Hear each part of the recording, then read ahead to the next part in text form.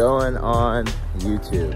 It is currently like 7.30 in the morning and today marks day number 50 in 75 hard. So very excited to be two thirds of the way done. Like I said in my last video, wanted to be able to take you guys through a day in the life of what it's like. Um, so a little bit about what we're doing right now is we're gonna go ahead and knock out this, uh, this outside workout because the thing about 75 hard is there are two workouts. Both of them are 45 minutes apiece. One of them has to be outside. So the one I'm doing outside is just taking a Drake here for a walk. We're taking Drake for a walk. I just want to make sure y'all can hear that. I don't have a microphone or anything yet, so we're working on it, getting there. Um, and then we'll go to the gym later, you know. So recap today is just taking you through a day of a day in the life of what 75 hard is. So we'll just break it down step by step. First things first, knock out this outside workout. It's raining a little bit, it's cold, but excited to be on day 50. So what I wanna do for you guys is just break down the daily tasks of 75 hard. Okay, so this, uh, these are the things that you have to do every day for 75 days, all right? First two things are 45 minute workouts, okay? You have to do at least two, right? And one has to be outside. So Drake and I just went for a walk outside for 45 minutes. So that takes care of not only our first workout, but our outside workout. Okay. Then you want to drink a gallon of water a day. Okay. You want to follow a meal plan or a diet. So whatever you want it to be. Right. I know my sister has done no sugar diet. I'm just doing carb cycling. You can do carnivore, keto, whatever makes sense to you. Okay. But you have to follow that for 75 days. The next tax is you can't have any alcohol and you can't have any cheat meals. So there's no brownies, no cookies, no beer, no liquor, no going to take shots with friends on the weekend. You can't drink whatsoever. Okay. And I love all those things. So imagine all my friends going out and do those things and, and me just being like, no, you know what? I can't do that because I want to succeed at 75 hard. But you know, the thing that this will teach you also is just not having that fear of missing out or FOMO okay? Then you want to read 10 pages of a nonfiction book. It could be whatever book you want it to be.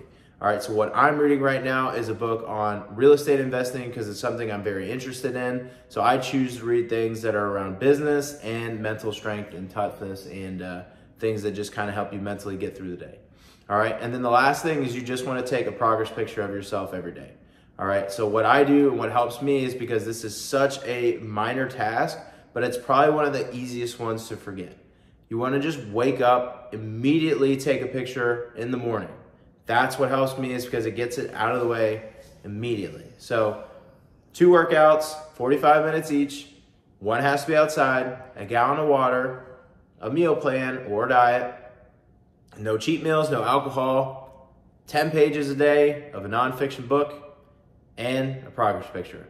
Guys, I'm on day 50 and when like they have a book for this and I'll also post it in the description or I'll just post a picture right here. So I'll just look up in the corner for the picture of the book. The book is phenomenal. It walks you through the entire program and why it's so beneficial for your life. I'm in day 50 and I feel like I'm in such a flow state and I'm loving every minute of this. And if you guys have any questions about this, feel free to uh, hit me up on social media or just send me a comment down below and I'll do my best to reply and uh, give you any tips and tricks. So next thing on the list for 75 hard is we're gonna go ahead and knock out our second 45 minute workout. I'm gonna go to Crunch Fitness and I'm gonna do a pull day workout. So that is just a combination of back exercises, rear delt exercises, bicep exercises, and I'm also gonna mix in some traps today. So uh, like the last couple videos I've done, I'm gonna go ahead and list all the exercises, walk you through what I'm doing as far as sets and reps, try to make it as easy as possible. Also, I just wanted to briefly go over what I use as far as pre-workout for those of you who didn't see my last video. So some of the products I use or all of the products I use is I always take some type of creatine. I got this from the vitamin shop. Uh, it's called Create from EHP Labs. Not sponsored by any of these companies, just what I uh, take right now. Also buy this Xtend brand uh, BCAAs. This is the Freedom Ice flavor, probably the best flavor other than the watermelon. Uh, as far as pre-workout goes, I take Gorilla Mode. My buddy Shane put me on their company with their glycerol. Uh, finally learned how to say that correctly, thanks to Shane. Uh, Gorilla Mode, this is their Tiger's Blood. This is the only flavor I've tried. It just sounded good and it actually does taste pretty good. And then I do mix in some glycerol into my pre-workout just to get better pump. And also uh, some pink Himalayan salt. I learned that from another video prior. Uh, I think it was by Max Taylor Lifts. And uh, yeah, it actually does work pretty well. So that's what I have for pre-workout. Already got that made. I'm gonna take you guys to the gym and let's get it going. First workout we're gonna do is gonna get some warm-up exercises going. So I'm gonna start with some hyper extensions. And what I'm gonna do is three sets of 15 with a 45 pound plate, get my lower back and hamstrings and glutes warmed up for deadlifts. So we're gonna go ahead and start with this and then we'll move into a pull-up.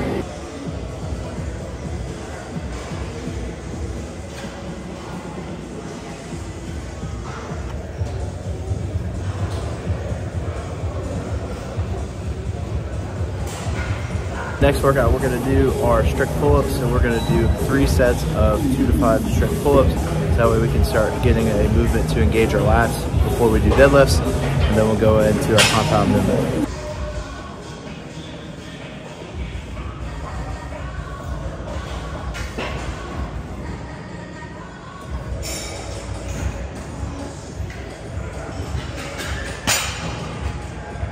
So we're gonna move to deadlifts now. This is gonna be our compound movement for the day. So how we're gonna break this down is into a ladder workout. So I'm gonna do 75 to 80%, 85% of my max. I'm gonna start with 75%, do two reps, work up to eight reps at 85% of my max. So a little bit different, starting with lower weight, lower reps, working our way up for endurance on higher reps, and higher weight.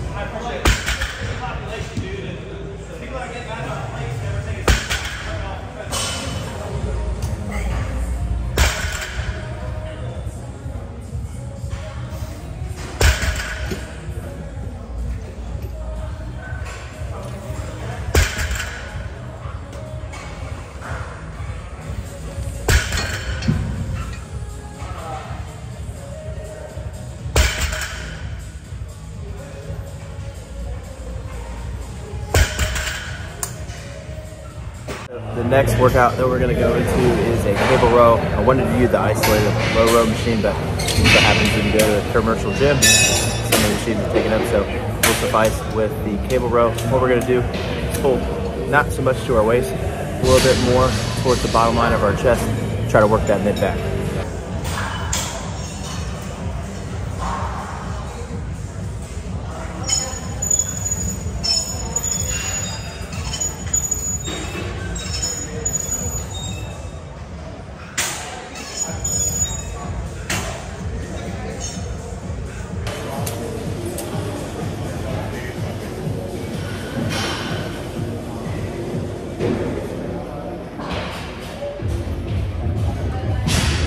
Next workout we're gonna hit is a wide grip lat pull down. We're gonna use this mag grip that you'll see during the workout.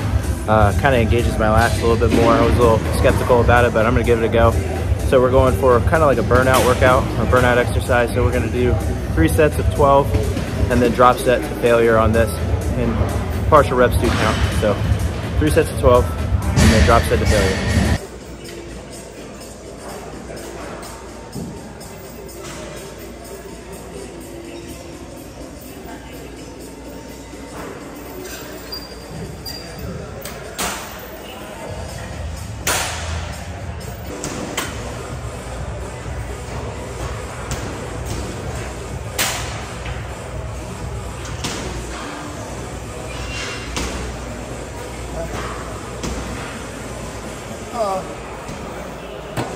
The next workout we're gonna hit is seated dumbbell alternating curls. We're gonna do this with some lighter weight and try to get controlled pause reps so that we can get good muscle to mind connection and get a good pump in.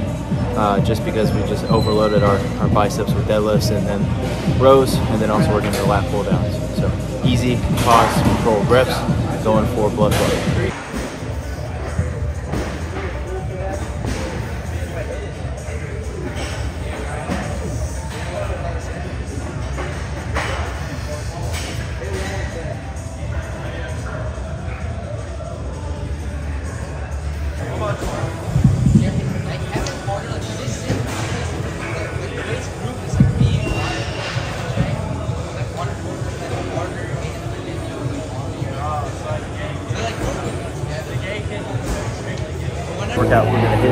Dumbbell workout. So we're gonna do seated, uh, bent over rear delt raises. A little bit of an awkward stance we've never done before. But really like because it does engage, engage my rear delt the best. So we're gonna do four sets of 12 to 15 on this. Again, going for lighter weight, better form, more controlled reps.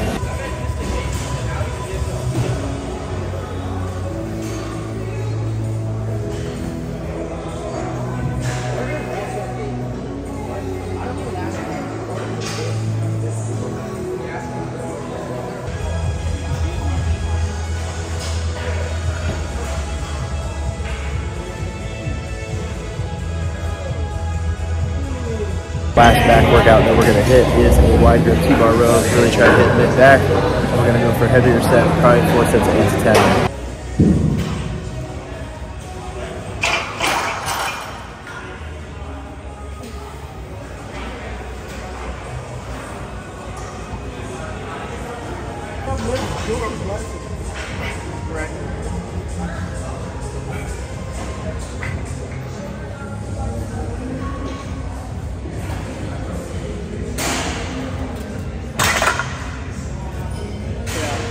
Last bicep workout we're gonna do is the preacher curl machine. So we're gonna go for four sets, of 10 to 12. Try to get a good pump in going before we hit our last rear delt raise.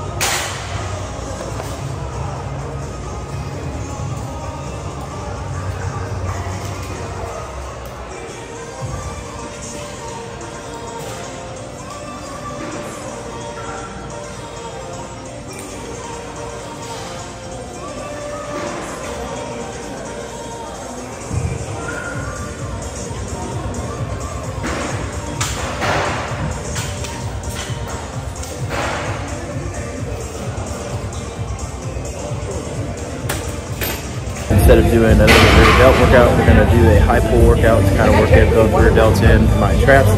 So I'm gonna do high pulls with an EZ bar, do three sets of 15 for a cool down, and then go do some cardio for 10, 15 minutes, hit the sauna, and get out of here.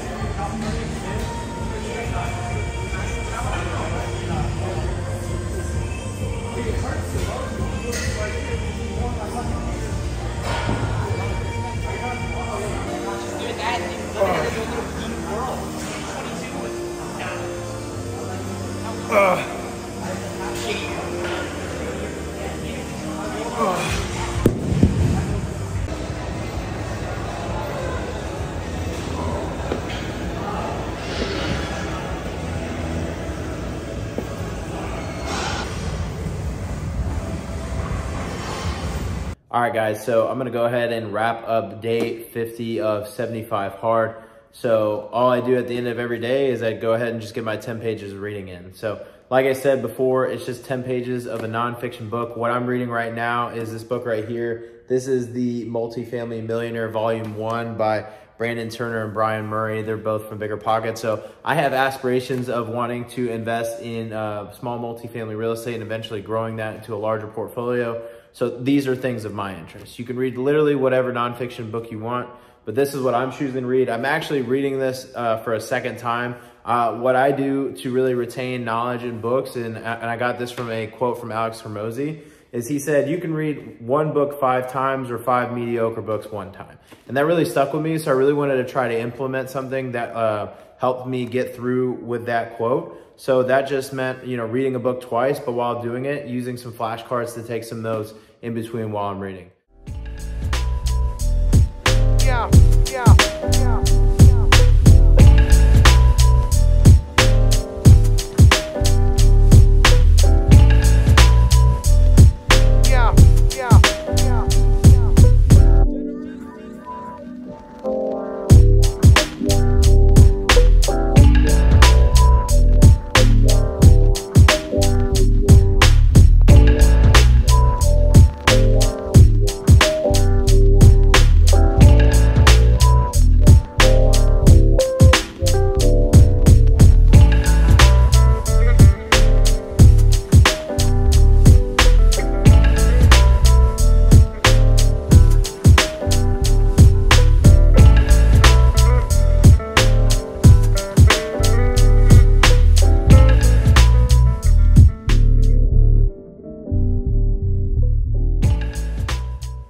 All right, guys, so that's a wrap with day 50 of 75 hard. We are now completed with two thirds of this challenge. I can't express how much I really do appreciate uh, all of you following me with this journey, but you know, I just want to thank myself as well for doing what I say I'm gonna do and stick through this because I can tell you it hasn't really been that easy. I mean, some things are easy and they're getting easier and they even talk about in like the 75 hard book about being in that flow state and I, and I can see that now about how things just become more routine and you just kind of feel like you're in a flow literally. Um, but yeah, I'm, I'm, gonna go ahead and wrap this video up. I've been uh, on this binge watching of uh, Peaky Blinders. My boy Hayden put me on it and I absolutely love the show. So I'm gonna go ahead and, and finish watching up uh, the rest of season four and call it a night. I appreciate you guys. Y'all have a great week.